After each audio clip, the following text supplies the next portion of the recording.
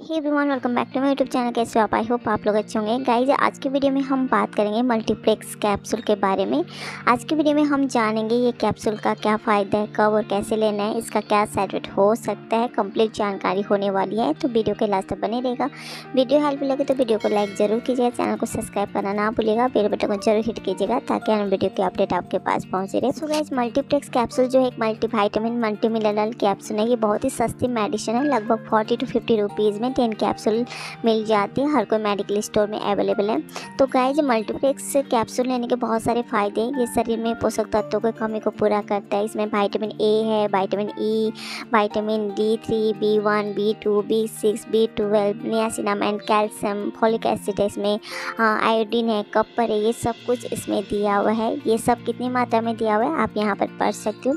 तो गाइज़ बात करें इसके फ़ायदे की तो पहला फ़ायदा ये है कि ये शरीर में वाइटामिन एंड मिनरल्स की कमी को ये दूर करेगा जो अपने खान पान से प्रॉपर नहीं ले पाते। ये इम्यूनिटी पावर को बूस्ट करता है। इम्यूनिटी पावर कमज़ोर होने से कई परेशानियों का सामना करना पड़ता है। शरीर हाँ कमज़ोर सा लगता है, थकान महसूस होती है। बार बार बीमार पड़ता है। इसके साथ साथ ये मेटाबॉलिज्म को इम्प्रूव करता है। आपके डाइजेशन को बेहतर करता है। इसको लेने के बाद भूख अच्छे से लगने लगती है।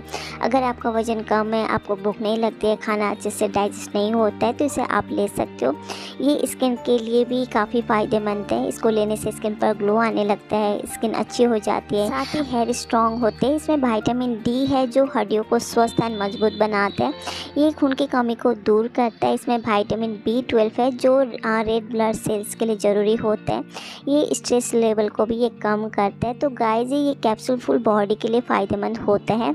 तो बात करिए इसकी डोज की तो एक कैप्सूल पर डे लेना है, खाना खाने के बाद दूध या पानी के साथ। बेटर रिज़ल्ट के लिए दूध के साथ आप ले सकते हो, अगर आपको कमज़ोरी या थकान रहती है।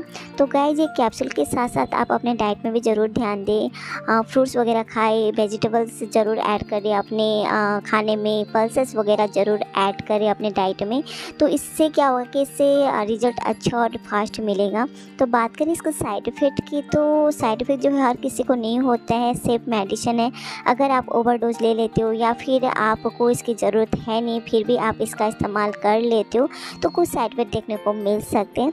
इसको लेने से जो है कॉन्स्टिपेशन की समस्या हो सकती है, दिल मचलाना उल्टी आना सर दर्द, इस टाइप के जो है साइड इफ़ेक्ट देखने को मिल सकते हैं। तो इसलिए कोई भी मेडिसिन हो, लेने से पहले डॉक्टर की सलाह ज़रूर ले लेनी चाहिए। सो so गाइज़ आज के लिए इतना ही। आई होप आपको मेरे से कुछ हेल्प मिली हो, मेरी वीडियो अच्छी लगी हो। अच्छी लगे तो प्लीज़ लाइक शेयर मेरे चैनल को सब्सक्राइब ज़रूर कीजिएगा। फ्रेंड और फैमिली के साथ ज़रूर शेयर कीजिएगा।